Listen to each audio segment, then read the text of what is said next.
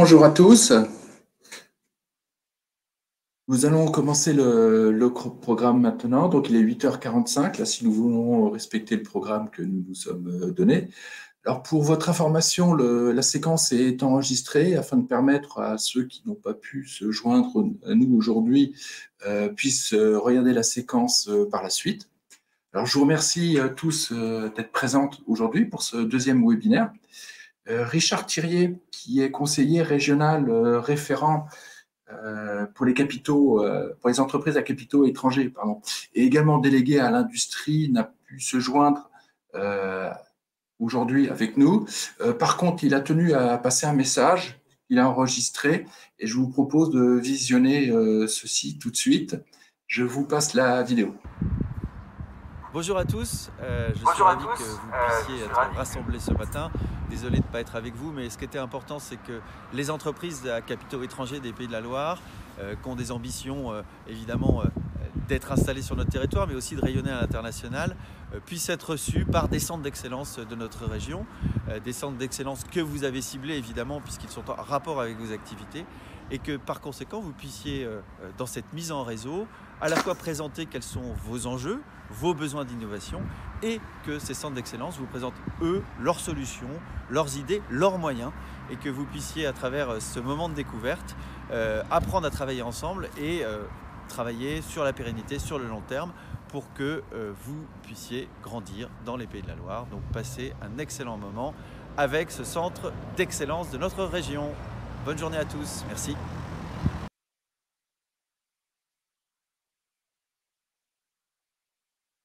Bien, voilà donc le, message de, Richard qui nous est tous adressé.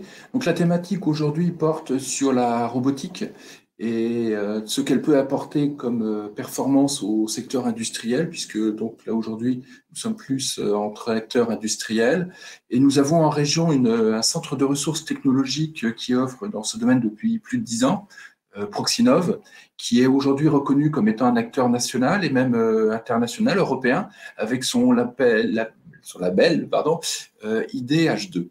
Euh, je laisserai Jade Lemaître, donc, qui est sa directrice générale, vous présenter son rôle, enfin le rôle du Proxinov vis-à-vis de la robotique en tant que centre d'expertise, en tant que centre de ressources et également en tant que fédérateur des acteurs dans ce secteur. Voilà, donc le programme, vous l'avez devant vous. Donc on va organiser ça en deux temps. Donc l'accompagnement proposé par euh, Proxinov, présentant donc les, enjeux et les apports de la robotique. Et puis euh, il y aura également bien sûr des illustrations par euh, des collaborations qui ont été faites sur le territoire avec des entreprises que vous connaîtrez probablement pour certaines. Et ce que je vous propose également, c'est de poser vos questions euh, sur la partie euh, questions, justement, en bas à droite de votre euh, écran. Et pour mieux respecter notre temps, nous vous proposons d'y répondre en fin de séquence, donc à vos questions et réagir également aux réactions et commentaires que vous pourrez apporter. Voilà, ben écoutez, nous avons prévu une fin de séquence à 9h30. Je ne vais pas prendre trop de temps, je passe tout de suite la parole à Jade Lemaître. Bonjour, est-ce que vous m'entendez bien?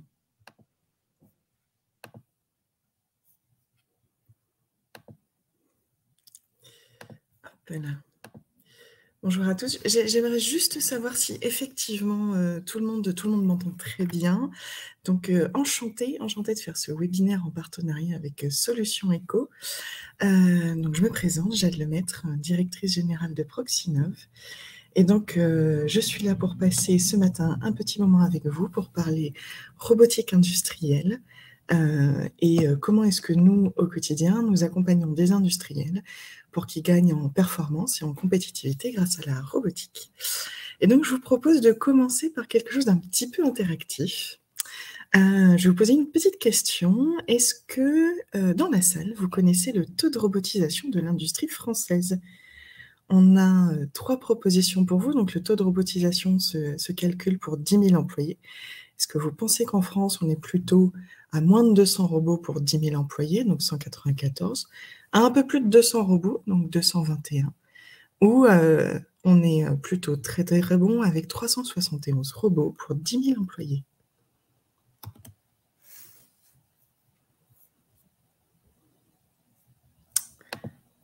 Donc, moi, je vais voter, mais je ne sais pas si vous, vous allez, vous allez voir mon vote.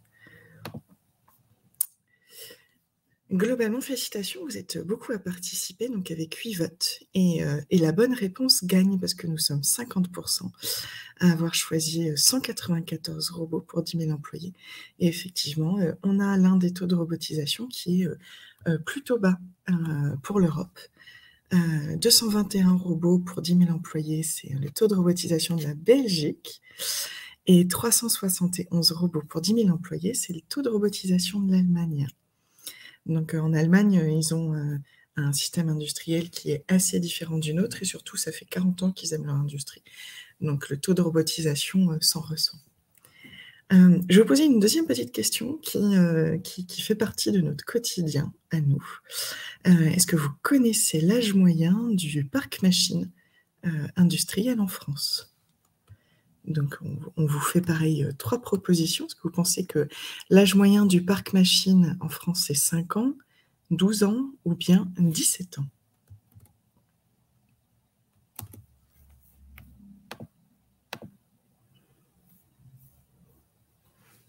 Bien, félicitations, vous êtes hyper rapide à voter. Donc, euh, effectivement, comme une majorité de votants l'a indiqué, l'âge moyen du parc machine en France, c'est 17 ans. Euh, donc, euh, imaginez un petit peu comment, euh, a été votre quotidien il y a 17 ans, et puis vous verrez que le, du coup, le parc machine en France est extrêmement hétérogène et pas forcément très connecté. à titre de comparaison, l'âge moyen du parc machine en Allemagne, c'est 9 ans. et, et, au final, je vous ai posé ces questions parce qu'en fait, ça fait partie de notre quotidien à nous. on a été créé Proxinov, euh, parce qu'il y, a une bonne corrélation en fait entre le, taux de robotisation d'une industrie, donc le nombre de robots installés pour 10 000 employés, vous voyez la France est ici, et, euh, ensuite la contribution de l'industrie euh, au PIB d'un pays. Et donc vous voyez en dessous et puis au-dessus de la ligne des systèmes industriels qui sont extrêmement différents. Par exemple, vous voyez ici Japon, Allemagne, Chine, beaucoup de, de grosses ETI, beaucoup de grands groupes, euh, une industrie qui est très axée sur l'automobile, le composant, le semi-conducteur, donc des industries qui sont très mécanisées. Et ici, vous voyez plutôt euh, beaucoup, euh, une myriade de petites PME et TPE. Au final, c'est aussi pour ça que nous, nous avons été créés il y a dix ans en tant que Proxinov. on a été créé parce qu'en final, le tissu industriel français est représenté à 90% par des PME et puis des TPE.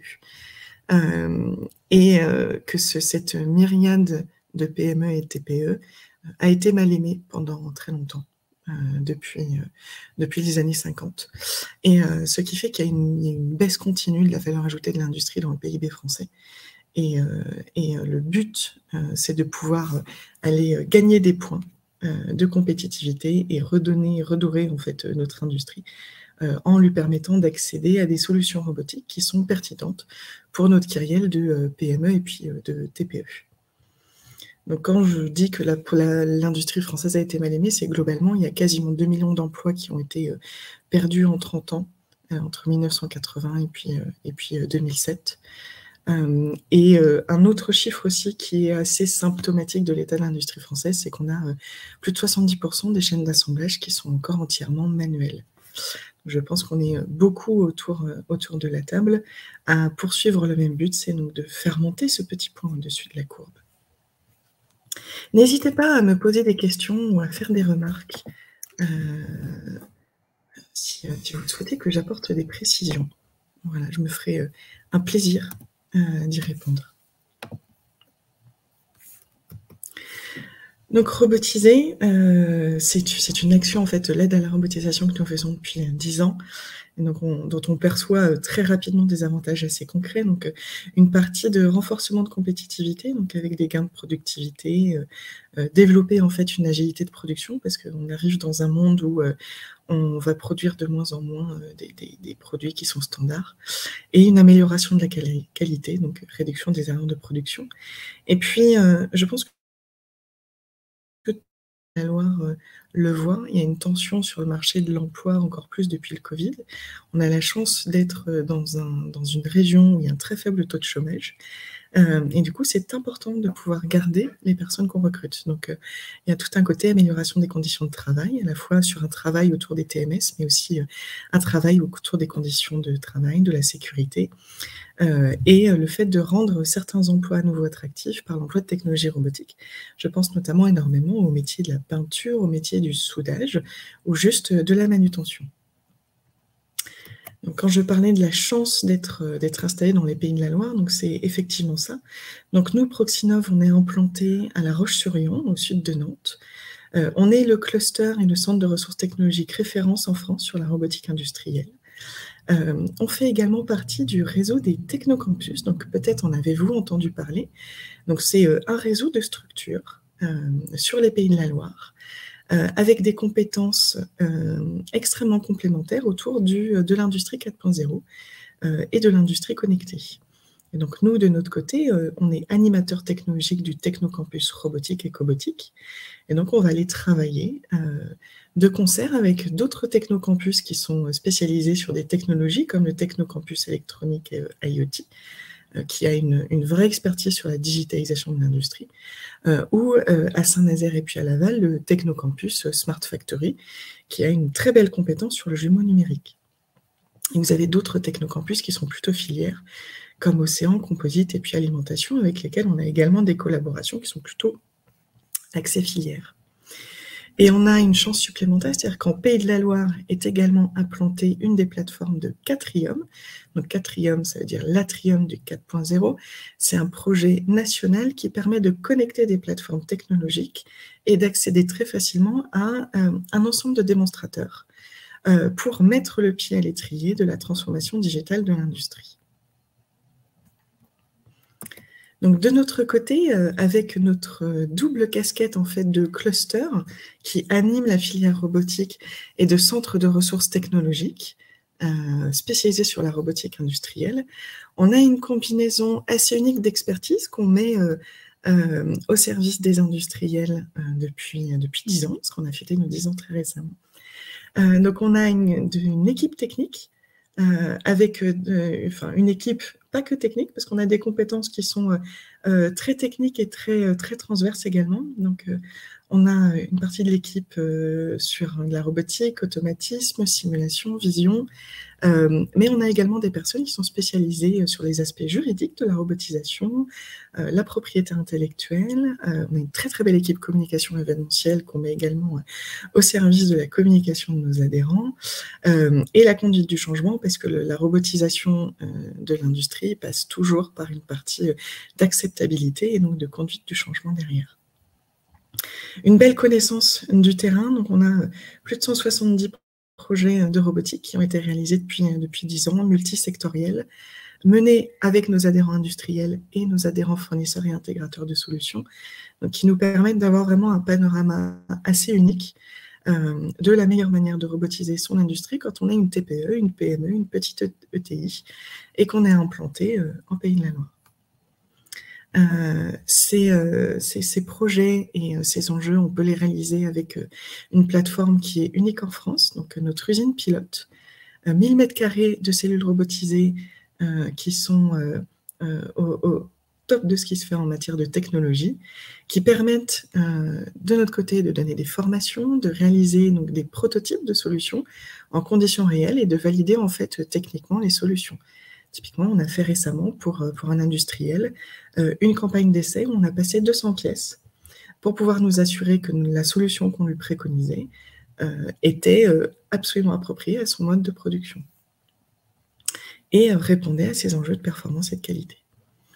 Et puis derrière, la force du réseau, parce qu'on est plus de 200 entreprises, ça représente un peu plus de 90 000 emplois, qui du coup ont accès facilement l'un à l'autre avec, euh, avec une, application qu'on a mis en place et qui permet de faire un réseautage assez poussé et qui est également démultiplié en fait par les rayonnements supplémentaires que nous avons euh, euh, en France et au niveau européen qui permettent de faire naître des collaborations à forte valeur ajoutée.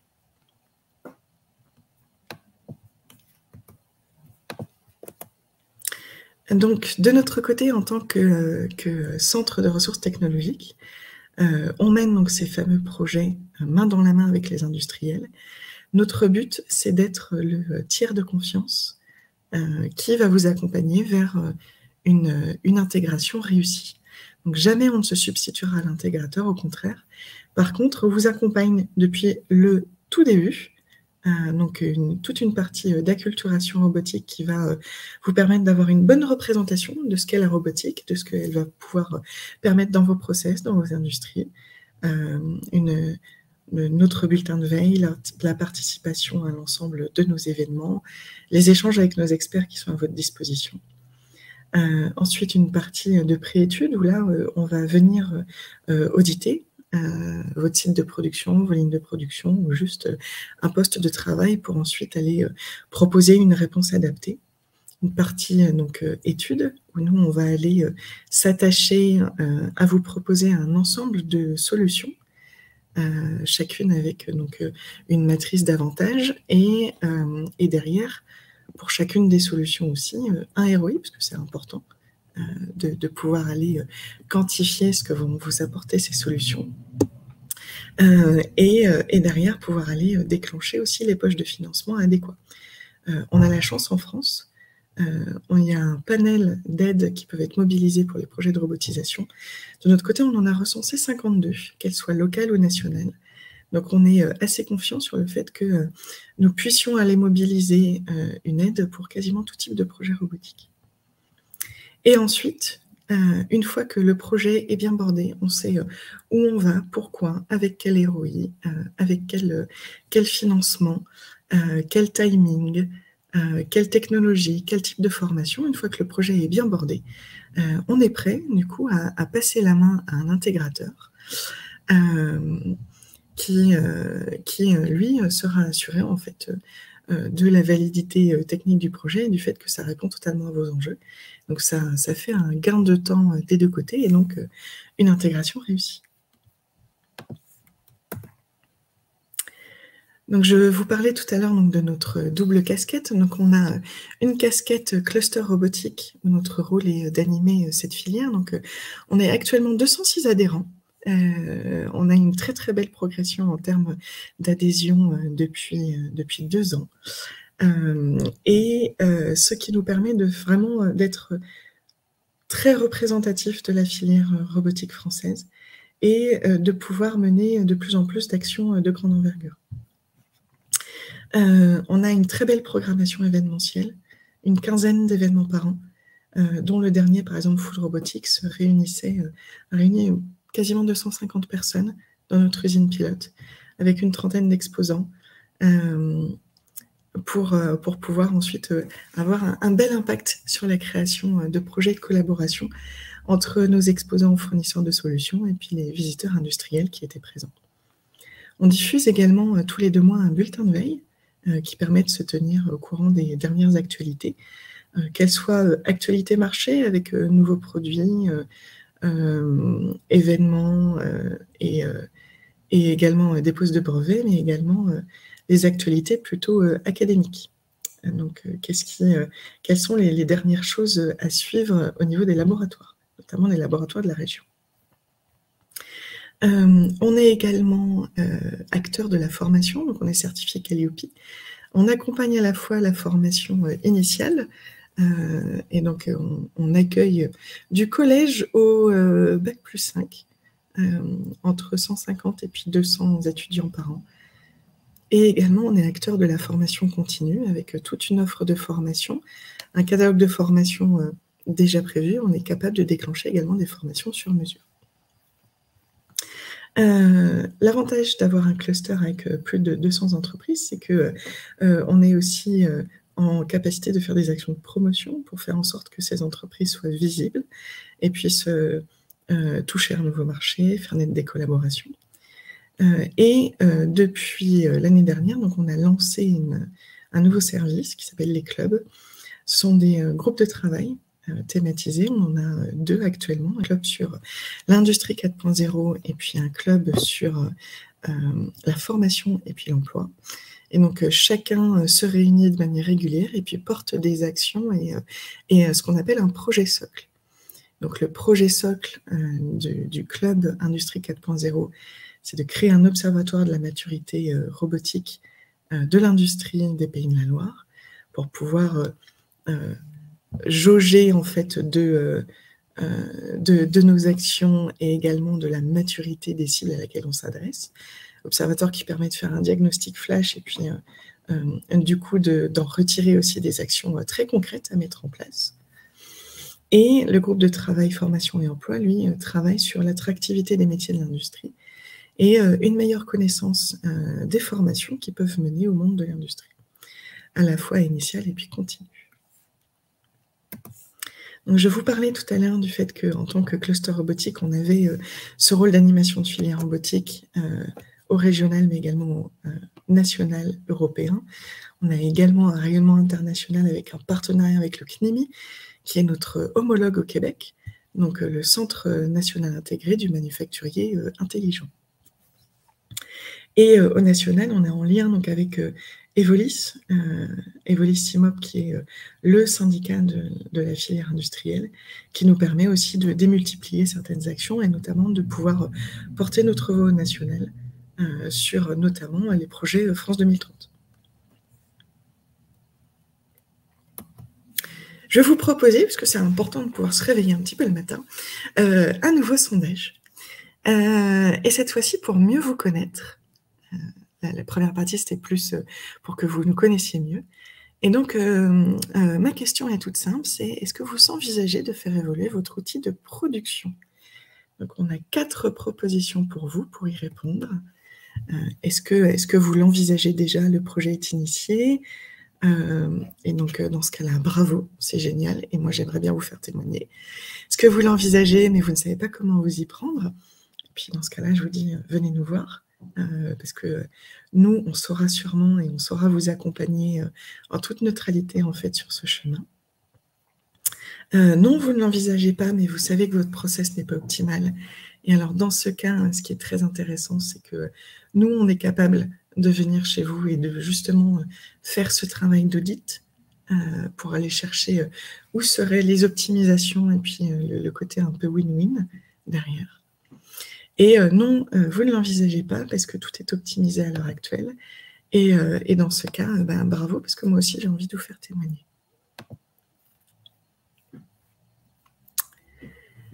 Donc, vous êtes actuellement, vous êtes cinq personnes à avoir répondu. Et une grande partie, non, vous n'envisagez pas, mais vous savez que votre process n'est pas optimal avec quatre réponses. Et donc, sur ces quatre réponses, je ne peux que vous conseiller de venir euh, visiter notre usine pilote et parler à nos experts, parce que nous sommes euh, extrêmement confiants dans euh, notre capacité à pouvoir répondre à cet enjeu. Donc, n'hésitez pas, si vous avez des questions ou bien des commentaires, on est là pour vous.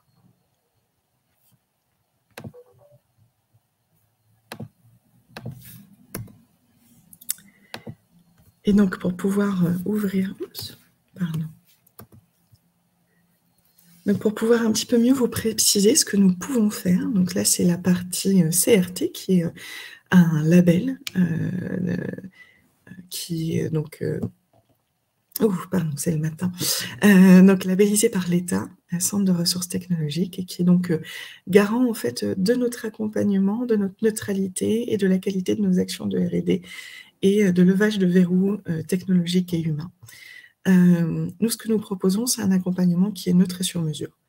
depuis 10 ans, on a réalisé plus de 175 projets d'accompagnement, tout secteur d'activité.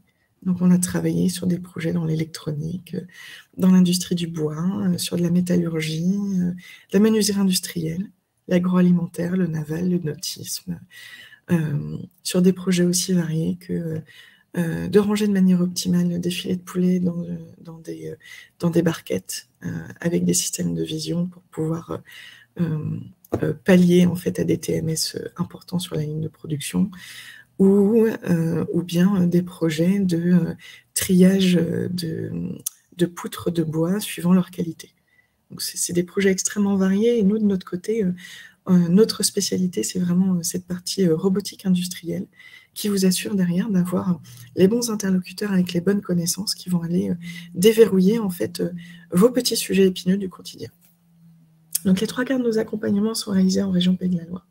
On a également quelques accompagnements qui sont réalisés euh, sur des régions euh, périphériques, comme la Bretagne, Centre-Val de Loire et puis euh, Nouvelle-Aquitaine, parce que ces accompagnements sont majoritairement réalisés avec l'usine pilote.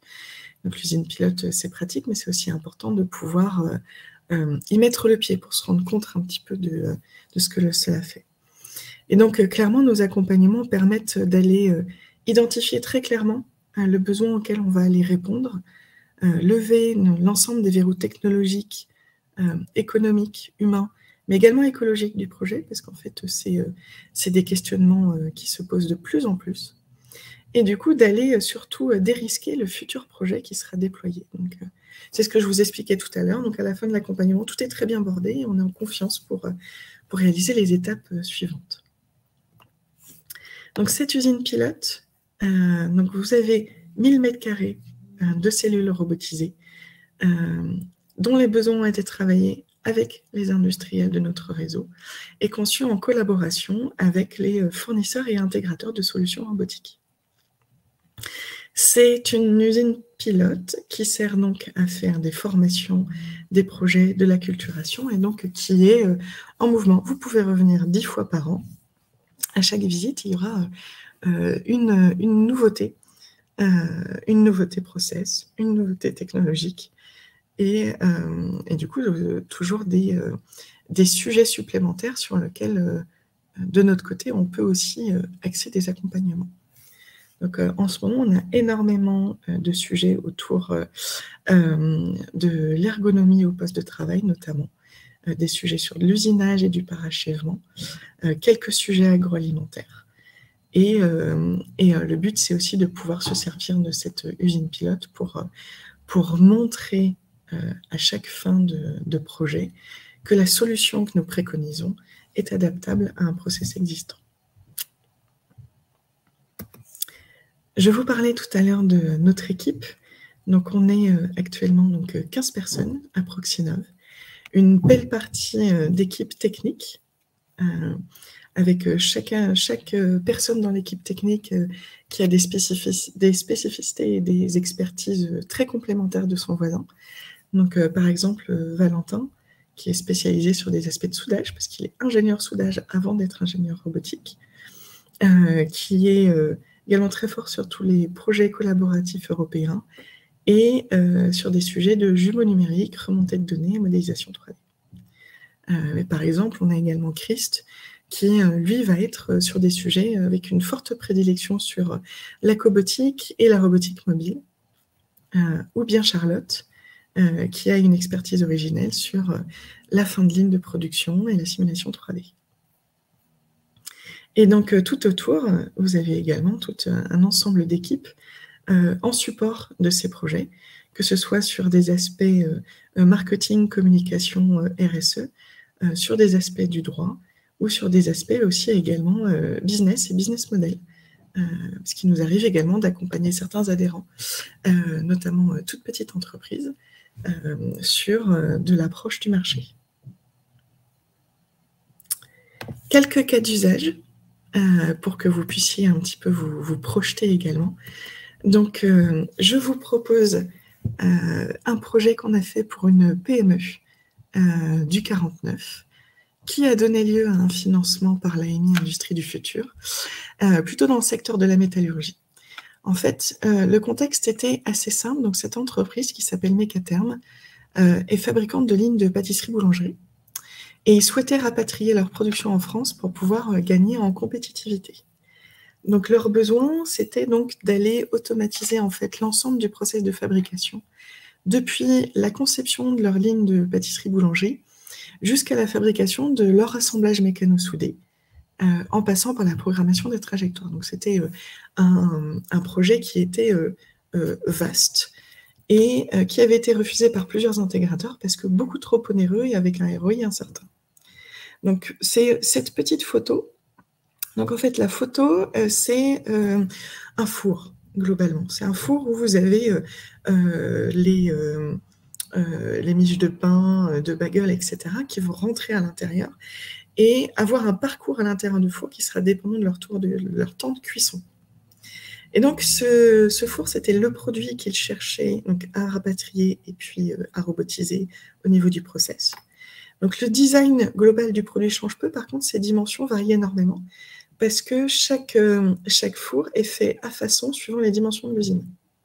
Comme le but, c'est d'être le plus haut possible pour pouvoir réduire en fait l'empreinte au sol, euh, c'est la, hauteur du plafond de l'usine où sera placé le four qui déterminait en fait euh, euh, la, plus forte contrainte. Et en fait, comme ces équipements fabriqués l'étaient de manière unitaire, globalement, la robotisation était extrêmement difficile. Donc ils sont venus nous voir euh, parce qu'on leur a conseillé de venir nous voir. Donc, euh, merci aux développeurs économiques euh, qui, qui nous ont recommandé, parce que c'était un beau projet. Et donc, je, je pense que c'est aussi sur ce type de projet que nous, on apporte le plus de, de valeur ajoutée, parce que globalement, ce projet n'était pas faisable avec des technologies classiques. Donc, le but, c'était d'aller ensuite trouver sur quelle partie du process on allait faire des actions de robotisation euh, et sur quelle partie du process on allait garder euh, des opérations manuelles, parce qu'au final, si on robotisait tout, le ROI ne serait jamais là. C'était beaucoup trop onéreux, parce que trop flexible pour pouvoir justifier un bon ROI. Donc, on a fait un accompagnement où on a pu euh, vraiment aller très très loin avec les équipes de Mécaterme pour comprendre leurs besoins, pour comprendre le contexte de fabrication, pour comprendre leur process et donc aller identifier les bons postes sur lesquels on apporterait de la robotique euh, et on a pu travailler également avec euh, un certain nombre d'adhérents, euh, donc Yaskawa, Visionnaire, Fanuc, Kinématique et puis Lucas, pour aller ensuite prototyper et tester les bonnes solutions. Donc on est allé jusqu'à l'élaboration du cahier des charges, la consultation d'intégrateur et puis la, la, lecture du cahier des charges pour voir entre guillemets à quel, à euh, comment faire la matrice des choix. C'est quelque chose qu'on fait aussi de manière euh, régulière pour ces clients industriels qui n'ont pas forcément de compétences en robotique et qui sont en général euh, perdus quand ils reçoivent une réponse à leur cahier des charges. C'est un très beau projet, comme c'est un projet qui garde quand même une certaine ampleur, c'est un projet qui est toujours en cours chez le client sur la partie intégration. Je vous propose aussi un autre sujet de relocalisation, donc euh, avec la société à la France, euh, qui est cette fois-ci dans 44, euh, qui a également été, dont le projet a également été financé par l'AMI Industrie du futur de la région, et qui répondait également à des enjeux de relocalisation. Donc à la France, c'est un des leaders mondiaux de la fabrication d'instruments de mesure en verre donc densimètre et puis euh, thermomètre. Euh, et ils étaient également importateurs de thermomètres électroniques, qui sont des euh, thermomètres de cuisine professionnels. Le Covid est arrivé, tout le monde s'est mis à fabriquer son pain et à faire ses gâteaux. La demande en thermomètres électroniques a explosé, sauf que les frontières du pays dont ils étaient importateurs étaient fermées pendant le Covid. Donc, ils ont souhaité euh, pouvoir euh, relocaliser la production et fabriquer ces thermomètres en France. Donc, ils ont souhaité euh, passer de importateurs de matériel à fabricants sans avoir foncièrement de connaissances sur l'assemblage de ces thermomètres électroniques, parce que c'est un métier qui était foncièrement différent de ce qu'ils faisaient. et il y a eu donc tout un véritable défi euh, qui a été de euh, redesigner le produit pour pouvoir favoriser sa production en France avec une partie manuelle, une partie robotisée. Parce que l'ensemble de leur process euh, de fabrication d'instruments de mesure en verre est encore extrêmement artisanal. Donc c'était à la France, c'était des primo-accédants à la robotique, du coup. et une forte montée en compétences de leur équipe et de leurs opérateurs sur des sujets de robotique. Et avant cette montée en compétences, il a fallu aussi travailler sur l'acculturation et sur le fait que les collaborateurs qui travailleraient sur cette ligne, donc en îlot, dont on avait réalisé un prototype à Proxinov, puissent ensuite être en confiance pour pouvoir faire cette fabrication sur le site. Donc pareil, pour chaque projet, des adhérents du réseau sont, consultés pour faire du prototypage dans l'usine pilote, montrer que ce, que ce projet est faisable, euh, vérifier en fait euh, les, euh, les paliers de collaboration entre robots et puis opérateurs pour que tout se passe bien. Et ce qui est intéressant pour ce projet, c'est qu'ensuite, à la fin de, l'intégration, on a également été formés, les opérateurs sur place, euh, parce qu'on avait du coup la maîtrise du processus, on avait la maîtrise de la manière dont euh, les robots seraient conduits, et on a pu faire cette formation euh, globale pour l'ensemble des opérateurs sur la ligne de production. Et donc c'est un témoignage que vous pourrez ensuite retrouver sur notre futur site web en deuxième partie d'année. Parce que c'est une entreprise qui est extrêmement satisfaite de, de notre accompagnement. Puis pour changer un petit peu de, euh, département et puis euh, de type de mission, donc un projet que nous avons fait avec la Mécaline, qui est donc installé dans le 85, dans l'agroalimentaire, mais je pense que euh, tout le monde a mangé un produit Mécaline ces derniers temps. Et le sujet autour, c'était une, amélioration de la pénibilité, donc pouvoir améliorer le quotidien des opérateurs, euh, en intégrant du robot mobile pour déplacer les rôles qui sont donc ces, grands chariots dans l'atelier logistique. Pourquoi est-ce qu'on parle de pénibilité dans cet atelier logistique? Tout simplement parce que c'est un, atelier logistique dans une zone de grand froid à moins 20 degrés. Donc euh, une zone où globalement, en tant qu'humain, on n'a pas spécialement envie de travailler, on n'est pas très confortable. Donc il fallait euh, à la fois réduire donc les, TMS, parce qu'on n'est pas très à l'aise dans des zones de grand froid, euh, pouvoir augmenter la productivité, parce qu'il y a une, il y fort accroissement en fait euh, euh, de l'activité de la micaline post-Covid, et répondre également à la pénurie de main-d'œuvre, parce que la micaline est installée dans le 85 et que le taux de chômage est inférieur à 5%. Donc, la Micaline nous a consulté sur trois sujets qui étaient très complémentaires. Euh, donc, euh, automatiser le déplacement de ces fameux rôles euh, dans la zone de picking. automatiser également un flux d'évacuation de palettes de produits finis depuis leur bande rolleuse donc, vers des paletiers mobiles en chambre froide. Et ensuite, automatiser l'assemblage des rôles. Donc, ce qui était aussi très très important, c'était de pouvoir tester aussi in situ les, les différentes solutions qui étaient préconisées. Euh, et, euh, et, pouvoir euh, vraiment aller travailler main dans la main avec les opérateurs ensuite sur le, le, bon compromis entre réduire leur pénibilité, mais éviter aussi une immobilité totale des opérateurs qui devraient rester dans la zone. Parce que quand on est immobile par zone de grand froid, c'est quand même beaucoup moins bien que quand on est un petit peu actif. Voilà. En général, on préconise également aux entreprises qui ne connaissent pas forcément de venir nous rencontrer, euh, parce qu'on est, euh, euh, parce que de visualiser des solutions robotiques, c'est toujours mieux en vrai que derrière un écran d'ordinateur. On a la chance d'avoir une très belle programmation événementielle, et donc notamment en mai, on a un événement autour de la décarbonation de la supply chain, euh, en juin, on a un événement autour de euh, l'électronique durable et de l'éco-conception. Euh, en septembre, on organise un rendez-vous technique sur la transition énergétique de l'industrie. On a également quelque chose autour de la filière, donc sur l'industrie textile. Et puis, un événement qu'on fait de manière récurrente, parce que c'est toujours un très gros sujet. Et, le, contrôle qualité prend un nouvel essor récemment avec euh, tous les sujets autour de l'intelligence artificielle, du deep learning, etc. Donc on vous donne également rendez-vous le 5 décembre euh, sur, euh, pour notre événement qui, à mon avis, va battre son plein sur le contrôle qualité dans les projets de robotique.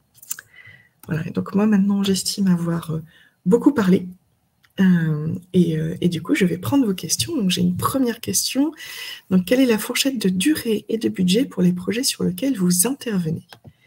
Donc, c'est, je, vais vous, je vais me permettre de vous faire une réponse de Normand, de Normande plutôt, parce que les, fourchettes de durée et de budget sont extrêmement variables. Comme on s'adapte au contexte des entreprises, nos projets pour une TPE ne vont pas être les mêmes que nos projets pour une ETI. Par exemple, le projet pour Mécaterme était euh, euh, très long euh, et assez onéreux, mais financé par une partie d'AMI. Globalement, on travaille sur des projets qui commencent à 4 ou 5 000 euros et on travaille sur des projets qui vont jusqu'à 100 000 euros, 150 000 euros. Donc, c'est plus une fourchette. Euh, dans ce cas-là, j'appelle ça plutôt une fourche. Euh, et c'est des projets qui sont extrêmement variables. Donc, en fait, nous, ce qu'on fait, c'est surtout on s'adapte au contexte des entreprises, on s'adapte à leurs besoins et on est capable aussi d'échelonner un accompagnement pour permettre à une entreprise euh, de pouvoir aussi digérer chacune des étapes de notre accompagnement et de faire en sorte que le, le soit au rendez-vous. Parce que de toute façon, chacun de nos accompagnements n'a qu'une seule visée, c'est faire en sorte que l'entreprise y trouve un ROI qui sera bien supérieur euh, à ce, au budget de l'accompagnement. J'espère que euh, cette réponse vous convient. Donc, n'hésitez pas à me reposer euh, une question si, si vous souhaitez une précision.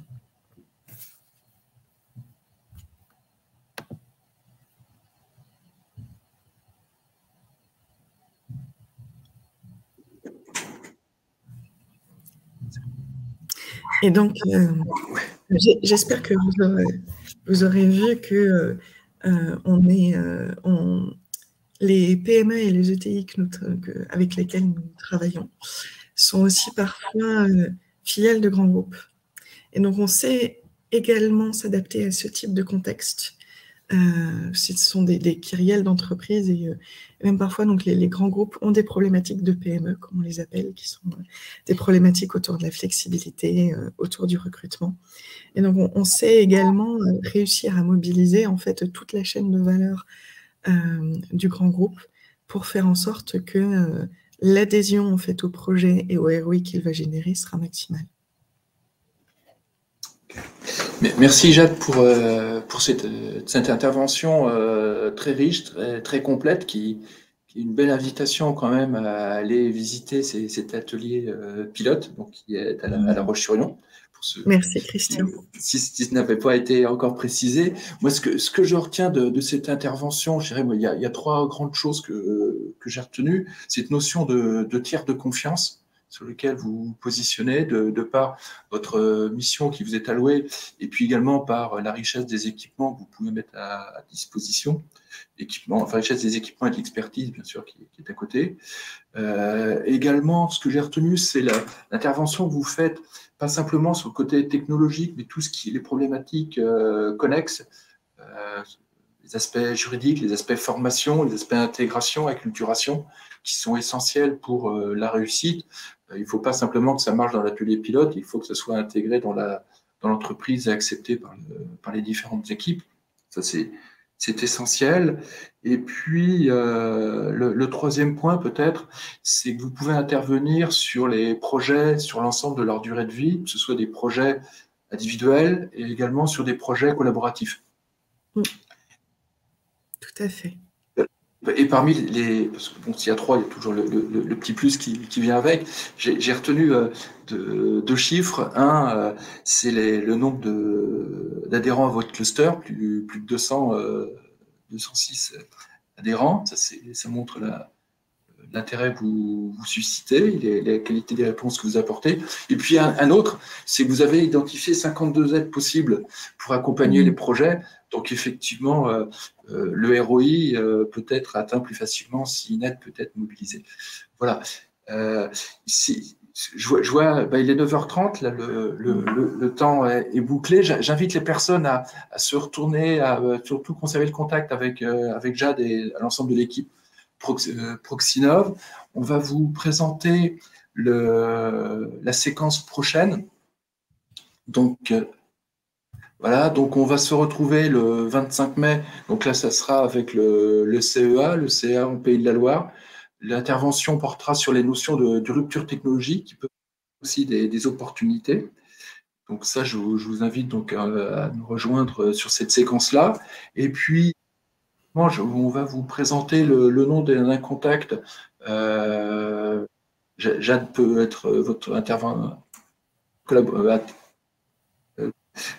votre, euh, votre interlocutrice, voilà, pardon, euh, mais également sur des questions plus opérationnelles. Donc euh, là, le nom s'affiche, Nicolas, Nicolas Pouclet, et là, sera peut-être plus disponible pour pouvoir répondre à l'ensemble de, vos questions. Dernière petite chose, pour, respecter au mieux le temps, donc vous allez recevoir dans la foulée un questionnaire de satisfaction. On vous invite à y répondre, ça nous permettra de de toujours améliorer euh, ces petites séquences que nous euh, souhaitons euh, les plus opérationnelles et les mieux adaptées à vos réponses et à vos besoins. Je vous remercie, je vous souhaite une très bonne journée, je vous dis à très bientôt.